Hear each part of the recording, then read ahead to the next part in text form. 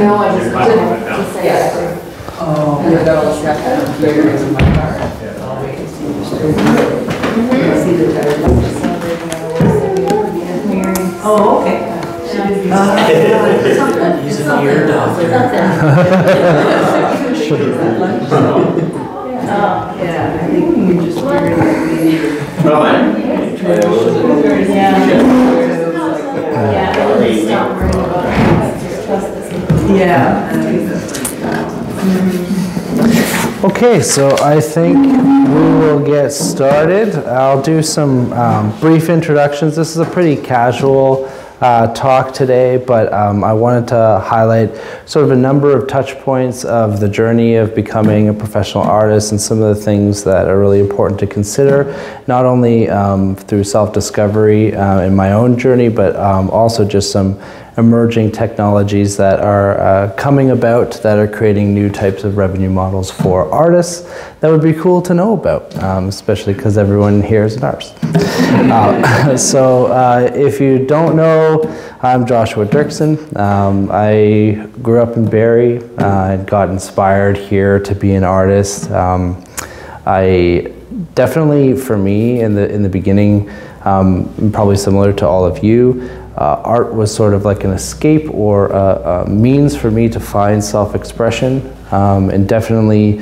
uh, fell in love with creativity in sort of all all mediums, um, but sort of really honed into music. Uh, that happened to be my family's background on both sides.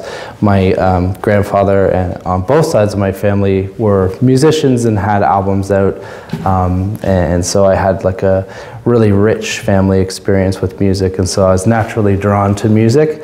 Um, but I think most people that are artistic and creatively inclined are sort of fascinated by all the different aspects of visual art and sound and music and dance and, and theater and everything. So um, I feel like something that's sort of a shifting point for a lot of artists is the moment in when it becomes part of who they are. Um, they sort of, you start to identify like this is a core part of my being um, that I have to be and like can't get away from. Um, and it's sort of around that time I think that we kind of start to decide that maybe this is like the meaning of my life and the, the, or one of the things that I derive a lot of meaning from that I'd like to pursue um, in a more professional capacity. and I find that that particular moment is a little bit of a daunting moment uh, in our journey because, okay, but how? You know, how do we, how do we do this? Um, and obviously, socially, uh, we're up against a lot of various types of stigmas around our careers and what they mean, and what people in our families or our friends or peers like even think of that. Um, and we're trying to explain, yeah, I want to do this thing that you don't believe in. you know, it makes it challenging for um, for us to sort of explore that in a deep way. And um, I think one of the one of the bigger challenges is that unlike other career paths, um, you know, if you if you want to become a lawyer, let's say, or you want to become a teacher, or you want to become a doctor, there's very clear lines of checklists of I do this, then I do this, then I do this, then I'm there, right? Um, all of those are like delineated paths to career. Um, whereas the artist's career trajectory is an uncharted path and an unknown path for every single individual artist. And so it's like you're in the woods with a machete, like trying to, you know, carve out an art career for yourself. And so it can be um, intimidating when you're first getting started to even know, like, where do I even begin with all of this because I don't really have a clear idea of the destination. I just know that I have to like do this thing and start pursuing it. So um, for me personally, I found that like early on in my career, it was about immersing myself in like anything art related as much as I could just to maybe rule out what I didn't want to do or try to like identify a niche for myself. Um, and, and hone in on something specific. But I think um, for any artist, regardless of like where you are in your career, uh, a career is kind of built on staying busy. And um, I know that there's like times when it's hard for us to like be creative, um, or it's hard for us to um, feel inspired, or we're dealing with different things in life. Um, and the big challenge that we face is sort of like keeping busy doing the art and doing the work and, and showing up basically to the practice. So I think that um, one of the sort of major shifts when you start to move from hobby to, and I mean, I, I'm reiterating probably what a lot of you know, but one of, um, in case you don't, the major shift from moving from hobby to kind of full time is that stamina building to actually like show up to do the work. Cause show in yoga they say showing up to the mat. You know, it's like you have to start building the stamina to output consistently because that's really what it takes. You know, any other job, excuse me, you'd have to show up every day. Um, and that can be really challenging when you start in a practice that's about expression and it's about emotion and it's kind of whenever you feel like it. Um, now I want to create at 4 a.m. because whatever. so um, I think that that's such an important moment for starting to take your work seriously is I'm going to commit to building up the stamina to actually output work um, and really, I think that that is the key identifier that sort of like determines if this is a good path for you or, or if you should maybe consider art being something that's a personal capacity, that, you know, something that you just do for you. Um, because obviously, when you decide to make money off your art, the relationship with the art making process changes significantly. Um, so I, I want to speak to that a little bit. Obviously we all have to work and survive and live. Um, and I think there's a lot of different advice about this where it's like, you know, go get a job in the field so you're getting at least peripheral experience, or have a cash cow that's funding your career, or rely solely on grants and don't don't do art unless it's funded, um, or just do it in all your spare time and fill up, you know, your bandwidth as much as possible. I don't think there's a right answer, but I do think that a huge moment in, in shifting is when you start to subsidize your income with your actual work and your actual, um, you're generating income from your art, which can be a really exciting moment. Um, and I think is sort of like the first aha, eureka, like empowering moment for all of us as artists. Like, wow, I got paid to like make this thing and like maybe this is possible. Maybe I can pursue a career like this. Um, now, naturally, that kind of like leads to um, more conversations about your own worth. Um, and another struggle that we face as artists is actually valuing the work that we're doing and valuing the things that we're trying to contribute or what we're trying to say in our work. Um, and it, it can become challenging to sort of, um, first of all, communicate uh, what our value is and also just have like self-awareness of um, the, you know, the level of our work um, and, and being really realistic about uh, how much time our work takes and then getting comfortable actually charging for that time or not even the time, but charging for the experience um, and the unique offerings. So that can really be um, kind of challenging to get comfortable charging more for less. Like as we get faster in our practices and as we get better at our practices, they're quicker. We're able to output faster. We're able to create products, and um, if you want to call them that, and uh, you know, it can feel a little strange to charge more when you're doing like a lot less, or you're doing something that you consider simple. Um, so for myself, I've always tried to look at it as um, the, the time investment of years and years and years of honing artistic practice is worth something. And um, it's really important to recognize that speed and efficiency matter and that um, if you're able to be hired in another field to deliver something incredibly well quickly, you're paid more, you know? So we have to start looking at ourselves a little bit more in that light, um, even though, again, the art making process is a little less linear sometimes. Um, it is really important that um, we start to sort of like focus in on that. And I was also going to say that um, we also want to kind of make sure to, you know, start to say no more often too. I think I, I talked to Katie about this a lot, but like I have a really bad habit of personally saying yes to any opportunity in the arts I can get because I just want to have my schedule full and I want to continue to like chip away at all of the possible things I could be involved in and then like look back and go look at all the things that I did. I had a career.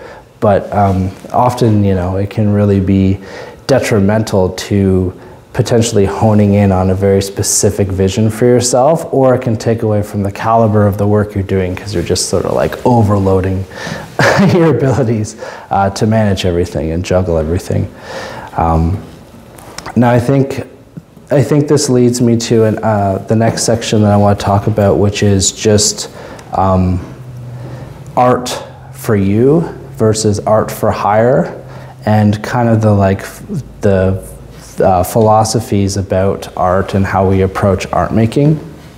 Um, I had a friend in university who I deeply admire. Her name's Sarah Walterhouse, and she is a visual artist.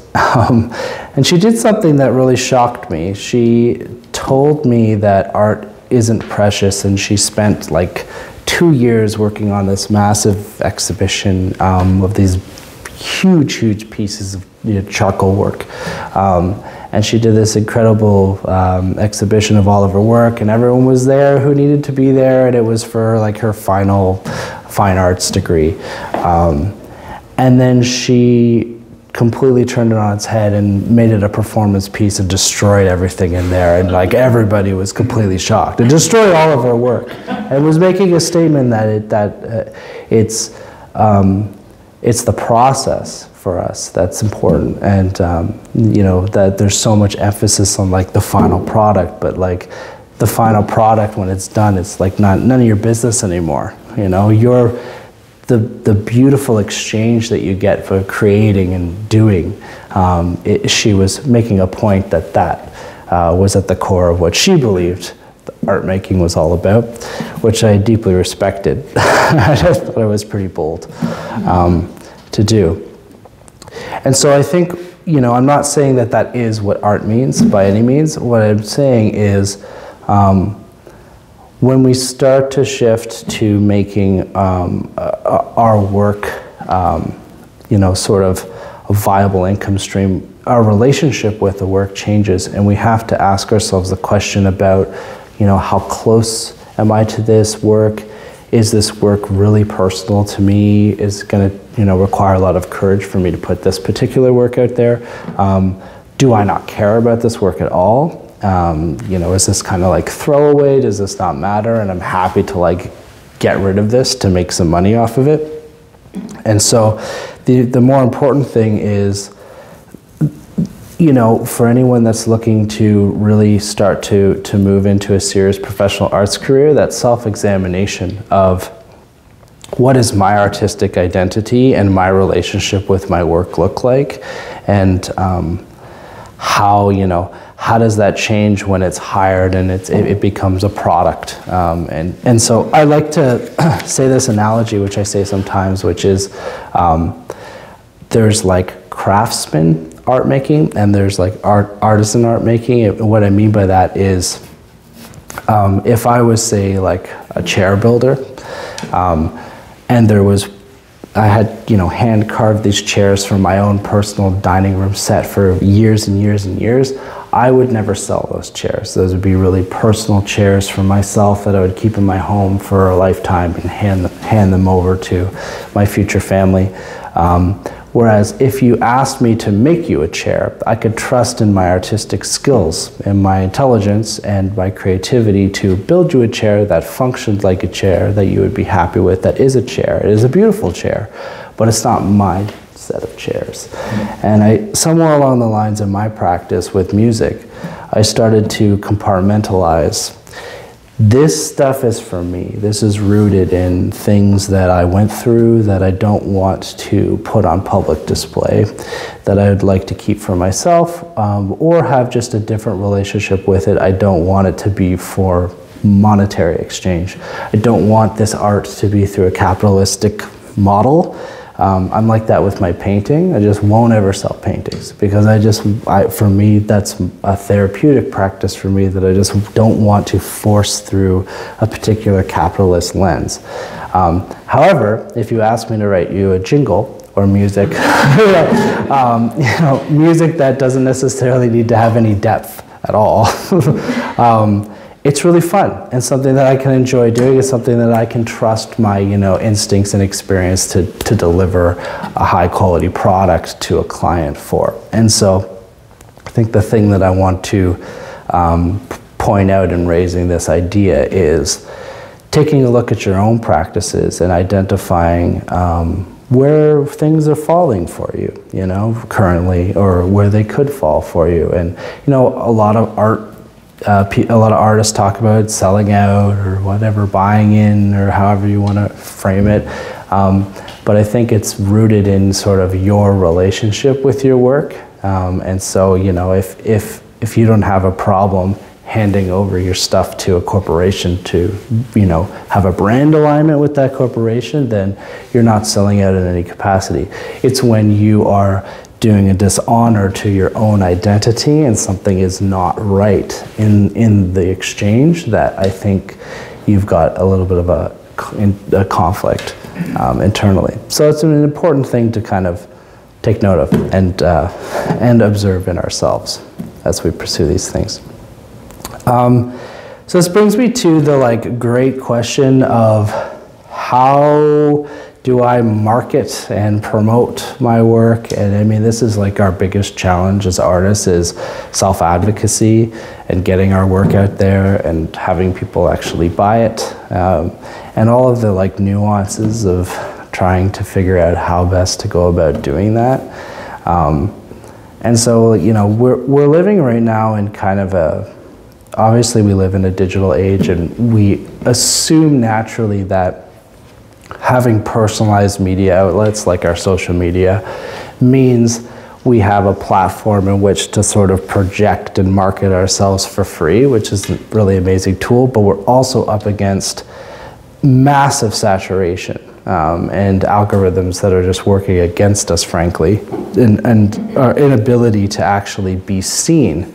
Um, and I think, I think what gets lost is some of the um, kind of traditional in real life personal connection to other human beings that is one of the reasons why art is so incredible is because it stirs people and it, it makes them feel things. And um, it can be really hard to communicate work that is not meant to be represented digitally through a digital means you know especially a visual artists in here like you have to be in front of a, a piece, you know. It's so it it's it becomes extra challenging to communicate your story and to do storytelling of who you are as an artist and try to, you know, have people understand you um, when you sort of are limited by the medium of video uh, to do that, to promote yourself.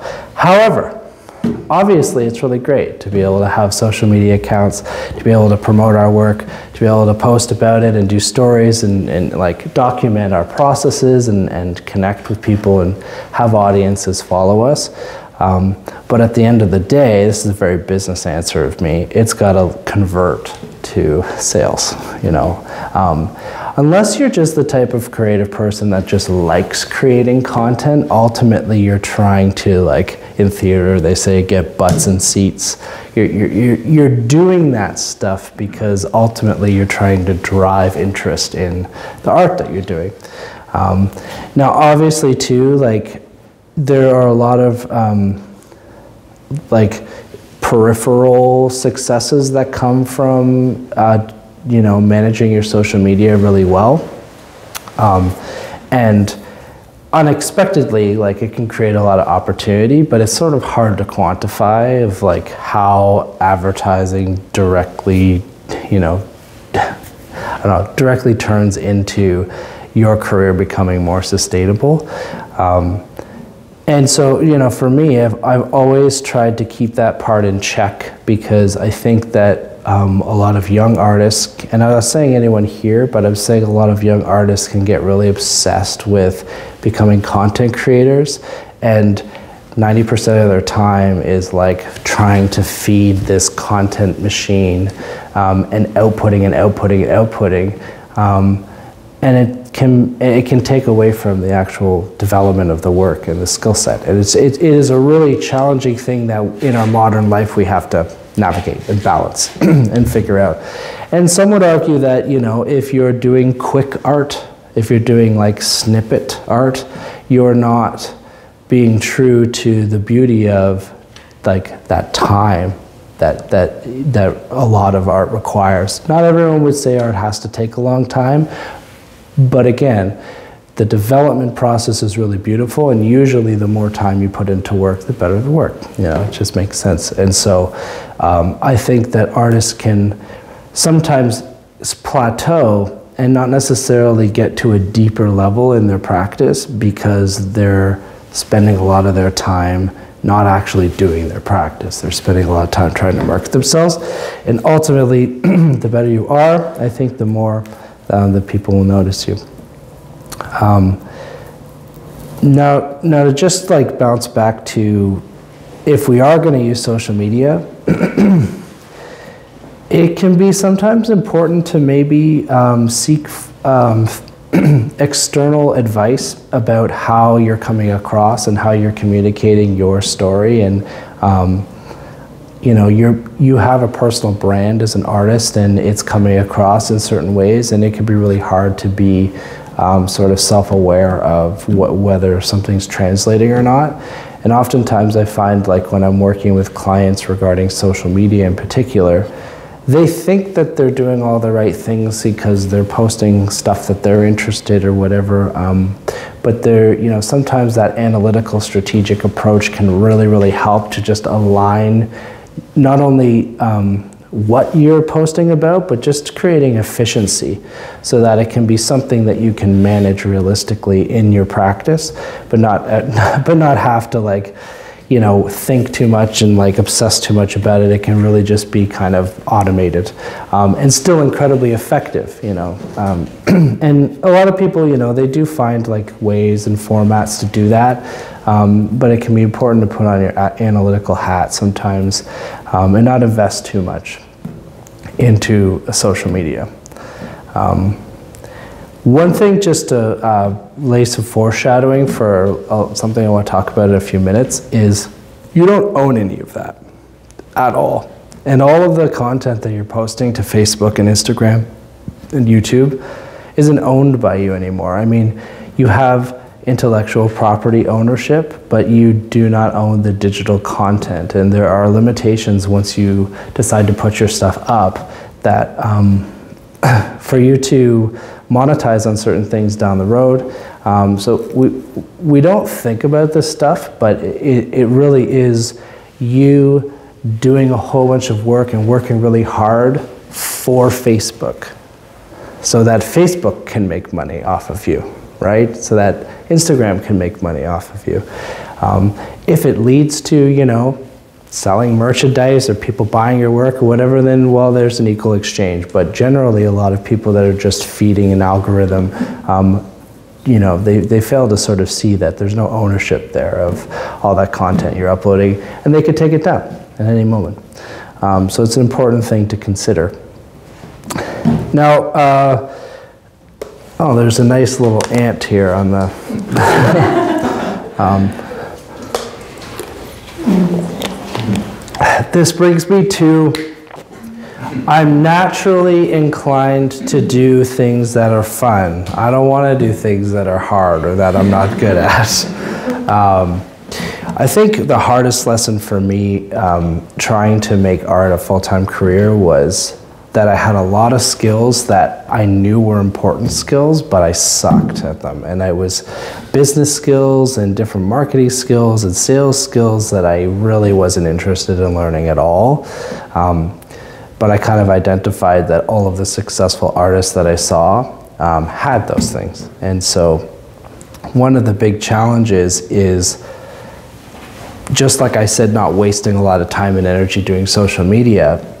um, it can be really difficult to uh, in parallel to trying to get better just at your art and your work to actually have to cultivate these skills that you don't necessarily want to do. They don't come naturally to you. You're not inclined um, to, to be motivated to do them. And yet you know with that kind of information you'd be able to take your art career a lot farther. There's a Warhol quote um, that he's fascinated with the business of art you know? Um, and and that that is you know there really is a business of art and there's a lot to learn about how to make art your business and the nuances of different art industry verticals and um, how best to go out, uh, go about opportunities. Um, like obviously grants in Canada are fantastic and they're, they're amazing aspect. And most artists have to spend a lot of time like educating themselves and getting mentorship and like writing applications and failing many, many times just to get a handle on that one aspect of the business of art, you know, which is funding. Um, and I think understanding that there are a lot of different um, entrepreneurial skills that are involved if you decide to make art a full-time career is really important. Um, what it comes down to is not losing the joy, I think. Um, there was a period where I was running uh, my business and I was trying to do the, the fun stuff, the whole like reason, like it's 10 years in and I'm going, oh, okay, like I'm not doing any music anymore. Like what happened? Like where did, where did I end up here where like I wanted to like be a composer um, and now all my time is on like my bookkeeping and shit. Like I don't, and I realized, um, that's just the, the hard reality is is that sometimes it's you know 80% of your energy goes into managing your career to get the 20% of like the really meaningful part. And i think that that relationship that changes um, it, it, takes some getting used to. And uh, you know it's really important not to um, not to lose sight of like the reason why you started in the beginning when things get really really tough and when you're struggling financially or when you know you just like are doing the same thing and not getting a new result um, or you have completely lost sight of like the, the core of like it doesn't feel like fulfilling anymore um, so I only bring that up because it's a challenge that we all face learning these different business skills and trying to like hold on to what was the precious part of why we do this anyways, you know. Um, and so, yeah, it's just a, a, you know important thing to, to bring up that when you're managing like a million different tasks and stuff, like make sure that you protect, you know, that that that core little piece of why you started down this path in the first place. Um, so this brings me to uh, sort of the the new technology era um, and something that I'm kind of just excited to end this sort of like monologue on um, and kind of break open to like a lot more of like a Q&A style discussion with everyone here. Um, but one of the things that is uh, some sort of uh, problems with the kind of traditional um, real world uh, you know, art careers is obviously um, you know funding. There, there's been a lot of like the, it's difficult to have runway when you're an artist to carve out time and space and to, to, to basically give yourself um, that chunk of, of like unbothered room to create. And um, you know, also there's a lot of gatekeeping in, in, in the world of art, you know, um, people that are, are deciding what is good and what isn't good, or, or lots of um, venture capitalist money pumping in of for music. It's, it's like, this is the music that's popular, you know, it's like if you don't have millions of dollars to invest in marketing, it could be hard to be seen at all. So it, there's there's a lot of challenges, and then also what I was talking about with social media, you don't own any of those things that that you're posting. So the creative control, you end up having to let go of a lot of creative control as you bring in different uh, people to manage parts of your career. Um, one of the things that I've kind of been really focused on is sort of future revenue models with digital uh, art and specifically in um, decentralized technologies called Web3. Um, Web3 is a fancy way of talking about the new internet that's forming right now from a lot of um, different technologies and developers. So in, in short, if Web 1 was like the read era, which was people could search for information on the internet, but there weren't any platforms to publish anything yet. It was just a, solely a read era. Web 2 is the era we've been in for the last 15 years or so, which is the read and write era, which is you can search information, but you can also publish information on the internet.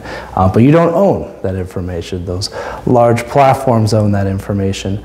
Uh, Web3 can be summarized as the read, write, and own era. And in, in ownership, it's about the ability to encode um, the digital files that you're uploading with information that copyright your digital work and actually uh, provide like transactional functionality. Like you can program digital files to do things that cannot be changed and are immutable. Um, so I'll give you an example of that. Um, has anyone heard of like NFTs before? I'm sure you're probably like, oh God, here we go. um, we're gonna have a whole lecture on crypto. um, at, at the core, an NFT stands for a non-fungible token. Um, non-fungible just means like it, it, can't be argued in court. It, it, it is what it is because it's on a time-stamped ledger that keeps track of every interaction with that file on the internet. So anything that happens to that file, if it's bought, if it's sold, if it's exchanged, if it's transferred, is all um, documented on uh, an immutable ledger that can't be changed. It's just a record. Um, it's a basically the foundational layer of information on the internet. And so what's really amazing about this new technology, um, why so many people are talking about it, why it's such a buzz thing, um, is, is because artists for the first time can encode their digital files to send them royalties, let's say, if they're transferred in any capacity. So for myself, I put out a song last year um, as an NFT. I put out 50 copies to a community on Twitter. Um, I sold all of those copies. I made more selling those copies than I made touring as a musician. And in doing so, those files ended up on some secondary marketplaces and then ended up getting sold and bought by other people. And programmed into the music file was just an automatic royalty for me. So my account permanently is connected to that digital file, and no matter what happens to that file, I will receive a payment. You can't send that file without a payment to come to me. So you can take control over your work and where it gets disseminated uh, on the internet, which is an incredibly exciting thing. Um, the other thing that's exciting about it is you can start to offer your communities and audiences and fans and patrons really unique experiences that only that artwork can provide through something called token gating, which is if someone has an account that they hold that specific protected digital file or NFT in, if they connect that account to say, um, you know, a concert or show up to a real life event or whatever, uh, it will, the information in there will communicate to the other platform and open up an experience for them that only they can have access to. Um, so it can become a really amazing thing for us artists to take our work and to have, just like with prints, have digital representations of those that are short batch or large batch collections of prints, um, digital prints, if you will, that are protected online, that can't be ripped, um, and can be like verified and owned by the collectors and can have pre-programmed things in them that protect, you know, sort of our compensation and, and, and ensure that, um, you know, we're paid when those things get moved around or, um, so yeah, that, that, that's uh, kind of you know something that I'm personally really excited about because I've seen um, the benefits in my own art career. There's a lot of downsides to, um, just like with any technology, you know, a knife. Uh, it- you know, it could build a home and it could also cut your arm off. It's, I think all technology is a double-edged sword. Um, one of, one of the downsides is a lot of different types of NFTs rely heavily on um, energy, and so they can be incredibly uh, bad for the environment just from an energy usage standpoint. standpoint. There's also stigmas around generative art and AI art, so our, our, you know, which I'm sure we're all thinking about and worried about.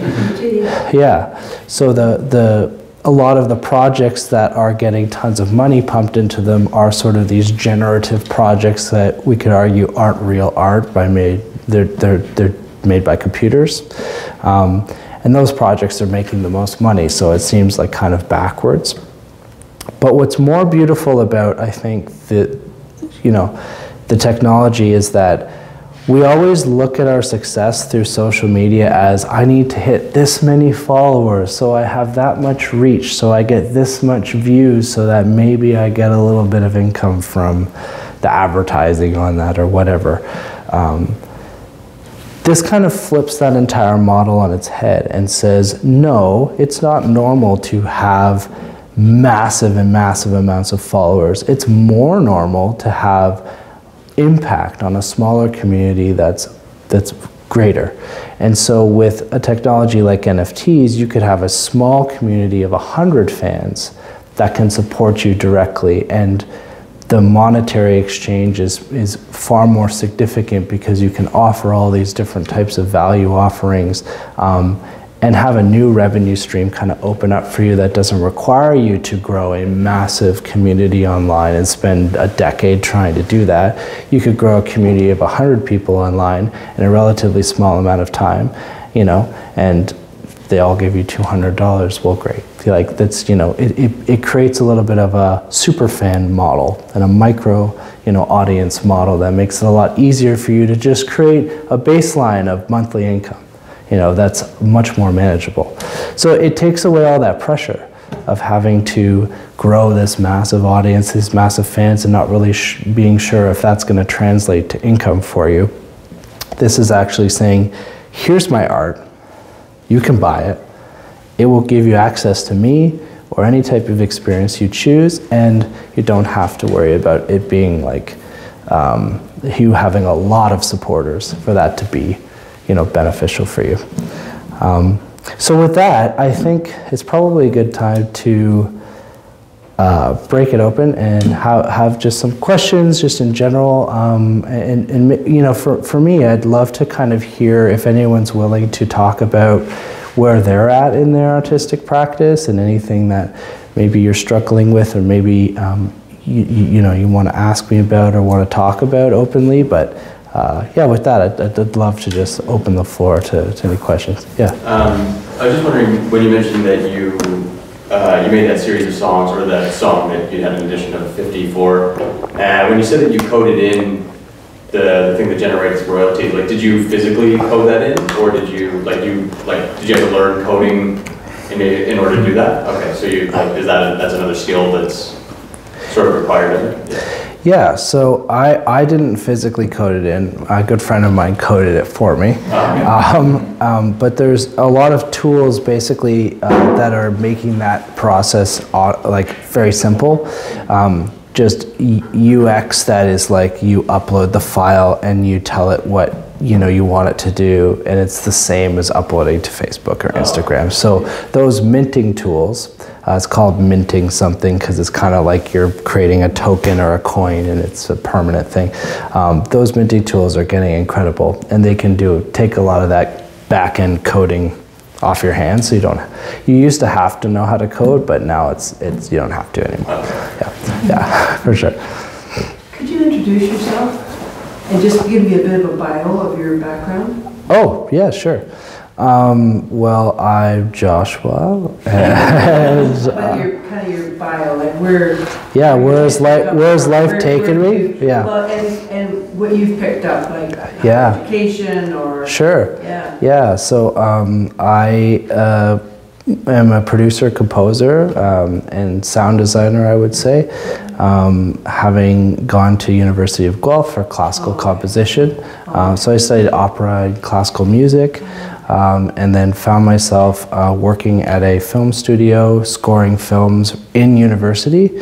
Um, and so I kind of like learned a lot about the composing process there and, and getting music placed in film.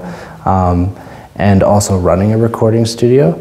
And so I spent a number of years um, recording artists and doing artist development and helping artists early on in their careers with marketing themselves and recording. Um, and then I kind of like did a weird pivot into corporate marketing for a little while. Um, so I was working for marketing agencies in Toronto, um, marketing products for different big corporations. Um, and it kind of inspired me to bring all of that like high level large budget information back down to artists to sort of help them understand that trajectory um, and all that experience that i had had in um, working in film led me to found a, a company that was a multimedia company uh, marketing and audio video production um, so i was doing like jingles and doing you know commercials and filming and photography for products and all that sort of thing um, yeah, and then all the while doing that, I've um, been touring in some bands, some signed, some not, um, getting music on the radio, uh, and just having an overall, you know, career as a composer, scoring theater. Um, and then through the pandemic, I actually decided to go back to school um, to be a hearing clinician, um, to continue my study of sound. Um, and so I'm just finishing that up um, in April. And yeah, so it's kind of changing. I was, I was saying before I was speaking, that started to change the like nature of my relationship with approaching sound and approaching like sound work. Um, like I did a residency at the Banff Center, and when I did that, I was doing sound installations that were interactive with these different sensors and visual projections. Um, but I think now, you know, just having learned about the anatomy of sound and accessibility issues for people losing their hearing, and, and also just thinking about the degradation of sound and, and our bodies, I, I'm thinking about approaching sound work um, in terms of installation in a very different way now. Um, yeah, I don't know. So- so- so- yeah. Yeah. Yeah. Um, proud winner of the Excellence of the Arts Awards in Barrie recently, which is really great. yeah. Um, yeah. yeah, three winners in this room. um, yeah. Heard of you, but I want a more broad kind of how you got here and influences, and you mentioned that one person that destroyed your work. Was that when you were at Guelph? Yeah. Yeah. Yeah, yeah, she's great. I was in a really strange improvising band with her where um, we would take found objects and um, the musicians would improvise and she would uh, create the art uh, in galleries based on that improvisation. So the, the work influenced the music and the music influenced the work. We did that in a gallery for audiences. And that was a cool project back then. It was like, wait, I'm in college and this is deep kind of kind of era. Um, yeah, I mean, I, I really, you know, if anyone is interested in um, digitizing their work or having a conversation, I've specifically um, found a really wonderful eco-friendly ledger um, that's carbon negative. Um, the, the company that runs the ledger um, invests in carbon offsets and it just was important to me from a value standpoint if I was going to put out NFTs that it was like not affecting the environment. So that was important. Um, so I like, I mean, I'm obviously open to, to that if anyone wants to talk about that more or more in depth um, because it's pretty neat and people are doing a lot of really cool and interesting things. Like there's a visual artist that programmed his artwork every time it's exchanged to lose a pixel and to, and to degrade So every time that gets bought and sold and exchanged over time, it's going to just be a white canvas. Like Banksy who had his work destroyed. Yes. So there's really interesting things with code that you could do to your digital works, um, or you could have you know one of your works split into 50 different cubes, um, and so it you know only compiles together when you collect them. All, all sorts of things, anything you can imagine programming in. Um, so it, it becomes pretty neat. Um, yeah. Can you program viruses and Viruses. asking for a friend? Well, in a way, was that what Banksy did? Yeah. In a way, was that a a virus, you know, so the moment that it was sold, it was I- destroyed, yeah. I, I don't think so. And why I say that is because it's information about it's it's like file naming information in the metadata. So I don't know if it's actually it's in its of itself its own program. It's more like programs read the file and whatever the file says is what those programs can do with it. So I don't know if that's possible, but I'm not a coder, so I have no idea. Maybe someone maybe someone will do something interesting with that. yeah. Um, with the, um, like programming various things into, into the NFTs, if say you like change your banking information or something like that, would that ultimately be lost? Um, so yeah, you've got a core account that royalties would go to. That account, um, if you were to lose the access to that account, then um, yes, because that's where you've That's really that's that's where you've that's where you've programmed that information to go to. Yes, um, yeah.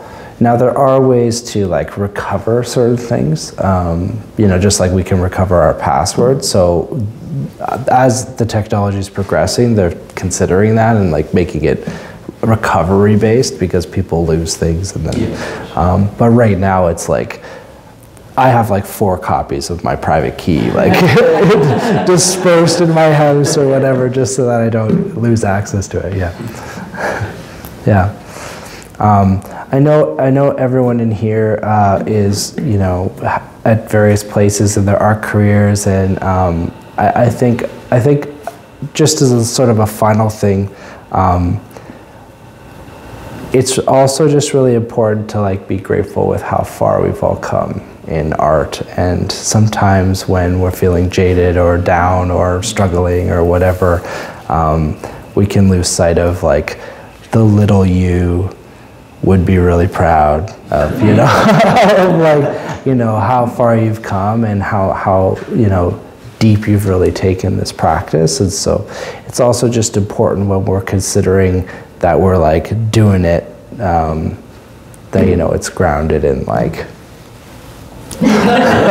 grounded in that in that heart in particular yeah yeah i mean if, if there aren't any other questions that's pretty much what i wanted to talk about is just some considerations for uh, career exploration and then obviously some new technologies that are Um, I just want one more question about, uh, with Web 3.0, um, is there a time when like, that'll just be the standard? Like, is there anything sort of that, like, we're waiting on, or like, is it sort of like you need certain, I don't know, say like software or something to access it, or will it just sort of take over the internet as we know it? Yeah, I, I think you won't you won't see um, you won't see big companies going away. Be Right. like obviously they're going to have a stronghold. They have shareholders and, and all of that. Um, but what what you will see is the emergence of um, decentralized organizations that aren't owned by anyone. They're you know programs or their NFT projects or whatever that have been uploaded to a ledger um, that will just function indefinitely because they've been programmed to. Um, so, yeah, I think a lot of things are transitioning. There's a lot of use cases coming on, like um, different banks are experimenting with digital currencies. Um, and I'm not like uh, pro crypto by any means, but the crypto is built on the same technology NFTs are built, but they're not necessarily the same thing. Um, so there are other things like transactions and coupons, for example. Um, coupons could now be instead of like paper coupons or whatever, we already have these coupons, but what, what prevents somebody from like using it again well, you could have a you know traceable ledger of transactions that says that's definitely been used. So there's all sorts of like enterprise use cases that are making this adopted, um, just as sort of like a foundation. But the most important part to consider is this is called the trust layer of the internet, meaning I can trust that this has happened. Um, stock market's a great example of like, did that guy call in the order first or did that guy call in the order first? It's like, you'll never really know. And so one person can say, can you just get me a coffee? And then call in the order and that order gets the transaction.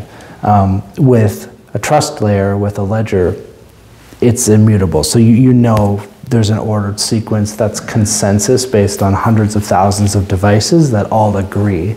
So even if you were to say hack 50% of the world's devices, more devices would agree that, that that's what really happened in the transaction and that's why it's revolutionary because it's able to concretely give us like security that yes these things are what they are. Yeah it's kind of a weird. I didn't expect us to go there, but yeah. What are your thoughts on um, the hu- human creative creativity factor in ChatGPT? And how do you see that? Like we're seeing already Microsoft saying they're going to embed ChatGPT in, in their software. And it's, I mean, it's here. So how's, how do you see that playing out and, and versus human creativity? It's concerning because um, the, the soul of expression is getting lost. It's empowering because a lot of mundane tasks can be offloaded. If I need to come up with five blog articles for a company on various topics people care about, it makes my job immensely efficient. And using, you know, we use tools to plow farms, we creating a tool to create digital information. So it makes sense, I think, that people want to have efficiency um, but I do, where it comes to art making is where I get more concerned. In terms of like text and writing, um, I can see why a lot of people would want to use it because uh, it just makes their jobs easier. Or it's a sounding board for prompting. You know, a lot of times it's like, I can't really figure out what I'm trying to see here. Let's have a sounding board or a brain shop uh, exercise, and then from there I can like go off and write the thing. But again, also, the ability to fake expertise is really concerning because you can have people typing in a bunch of things and putting out content speaking as if they're an expert in something when really they're not and you've got an ai combing the internet. Um, i'm really concerned for what it means for art making but i also think maybe there's an opportunity which means ai ai combs from the internet which is uh, whatever's on there and more relevant is what it will what it will reproduce and create. Um, I think the opportunity for artists is to go away and bring work that's very clearly not, very clearly not generative work. Um, so I think there's an opportunity for actually it to become more distinct what is art and what is visual you know, generation of, of content for you. So I mean, I mean that that's me being like optimistic. Yeah. it, it, it, could be, it could be, you know, it could be atrocious and destroy the world. I, I don't know. I have no idea. But I, I would hope that, you know, I think about a certain um, song that I wrote. I wrote a song about when the last human being um, is about to die. Um, Gaia presents herself and she says, you know, what do you have to say for yourself? Um, and there's a, a conversation with um, the last human being about what our legacy is, uh, you know, in a couple million years or whatever. I don't know if AI will generate a song like that, you know. And so I still think there's a lot of room for humanity and for artists to create art that just is impossible. And maybe we'll value it even more you know, because we'll have, you know, we'll be so overstimulated and bombarded with content that we'll be looking for things that are actually more raw. And uh, so, I mean, that's my Share- hope. share your own. Yeah, yeah. You can't replace the human, the human uh, emotion and a lot of, a things in the spirit spirit, yeah. I listened to a talk on the AI today and basically said that how uh, industrialization replaced a lot of blue collar workers, but the AI actually threatens white collar jobs. But, and then there was one expert who said, um, AI is not going to replace humans, but it- actually, they said lawyers are most at risk because of, um, how the computer can formulate a, a legal document, right, because the law is out there, but they said what's gonna happen is it's the lawyer who uses AI who will serve, outlive the lawyer who chooses Right. not to use it, and so, you know, I even just think about, shit, what if I just, like, every time I need to write an artist bio?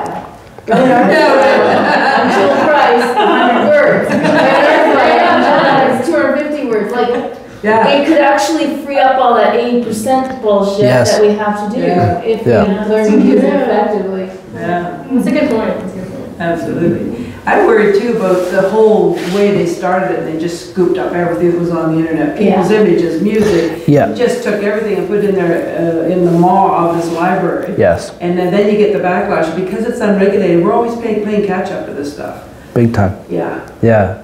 Well, that's what. Oh, sorry. Go ahead. Would AI be able to access NFTs? AI could technically access the art style and replicate it, yes, but AI could not could not sell you something that's not tracked as like the authentic file. So I think that that's the the, the differentiating factor. When collectors collect something, they usually want a you know note of authenticity and those types of things for artwork. It's a it's a digital note of authenticity that can't be replicated by the AI. Yeah which is important. Yeah. It is scary though, because I think a lot of artists too that have like banked their work on certain aesthetics, like are just completely getting destroyed. Especially um, digital artists, you know, that so many of their, so much of their work just getting completely taken. Yeah. Um, yeah, it's it's freaky, and there's there's now AI for voice, um, so you can you can pump video content of an individual and it'll scan the frequencies of their voice patterns and then you can get it to say whatever you'd like it to say. Pair, pair that with a pair that with a deep fake Yep. you know software and then you've got a pretty pr- yeah really yeah. And Eminem's already had his, yeah.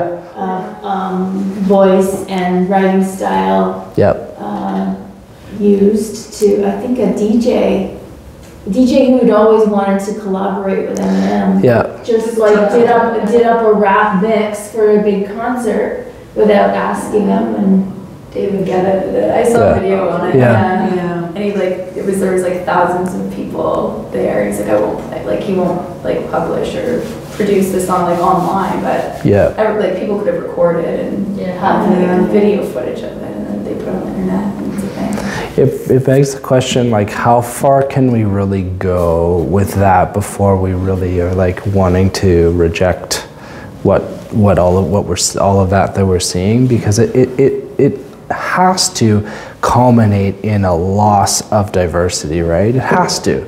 Like when you when, when it just keeps siloing, like and pulling from the same sources, and not not having individuality contribute to it, then it's going to. I assume it's going to just all be the same. Like it'll just get to a place where everything kind of looks like that AI style or whatever, um, which again gives me hope that like human beings can find each other offline yeah and and you know create unique things again um, yeah it's it's definitely the topic of our times because in the next few years it's really going to be all prevalent a lot of industries are going to be affected by it i think I think part of your message that I particularly like too, and I agree with, is we have to think cumulative. The cumulative effort over an artist's career. That's what counts. I had a theater person, uh, she did major professional theater for a long time. And she told me about, it was one of those moments when I'm saying, what the fuck am I doing to being an artist, right? And she said, we haven't taken the second vow. I said, the second vow? She says, in theater, we all reach that point, and then we take a second vow. I'm doing this, and I know why I'm doing it, and I'm doing it for the rest of my life. And I thought that was very powerful because we do doubt ourselves and we do get banged down and it's so hard to make it out there, right? Cumulatively, you win, you know? You, it adds up over time, all that effort, it adds up over time. And that's a lot of fun, I think having a good community as well, so Yeah. that's great. I think that's like one of the main Absolutely. things I have, like having like, us all here and Mhm. just it's a community support and really getting out in the community and just, again, going back to like, um, what you said, but like just owning that you're an artist and like going back, like I think most of my, like I'm active on social media, I get work from it, it's really good, but most of my jobs and stuff around here have been going out in the community and finally speaking up and saying, yeah, I am an artist. This is what I do. And then like word spread and like just being involved and supporting other artists and stuff like that. And I think that's all offline. Like, so I think we, can, we all just shift going back to like, mm-hmm. and it's hard because I know a lot of artists are very introverted and that's why they create and it's whatever, but I think it's just getting back out in the community and Now, n- now, not to put a, a spoke completely in that wheel, but I, I observed something really interesting. I- There was an artist that did a gallery opening in VR, and he was like immensely introverted and suffered from social anxiety and said, I could never bring myself to do it in real life opening because just walking in the space with everybody, I was like, no, I had to like leave. It was like mortifying for him. Um, but in the privacy of his own home and the security of his own home and in a headset, he was able to come out of his shell and share who he was and be much more social and build a virtual community from around the world that could buy his art right off of his digital gallery wall. So it like, I think though, regardless, it's Yeah. community. Yeah. But it's just that, yeah, yeah. But, but those communities are forming online in like various metaverse platforms too, as people want to gather and have these kind of new, exciting experiences and stuff. Um, but yeah, so I think for introverted artists, it's actually an empowering thing to not have to be in real life because it's scary for them. Um, but yeah. yeah. I've never had experience. So, you know, I'm. I- I've always been. Yeah, and and like I I also think that like I personally also like the connection of being with people in real life, but um, but for some people like you know they're finding a lot of meaning in those digital communities, and um, yeah, it's it's going to be interesting to see see where it all goes in the next few years. Yeah. Well, thank you so much. This has been wonderful. Yeah, you're welcome. Yeah. Thank you for having me. Yeah, I appreciate it. I love the conversation. It's going to affect all of us, so. Yeah. We're all like, yeah. Yeah. Yeah. I'm just gonna go in the studio and go. Yeah.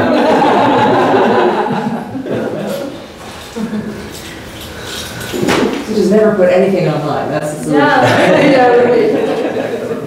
yeah. Break it.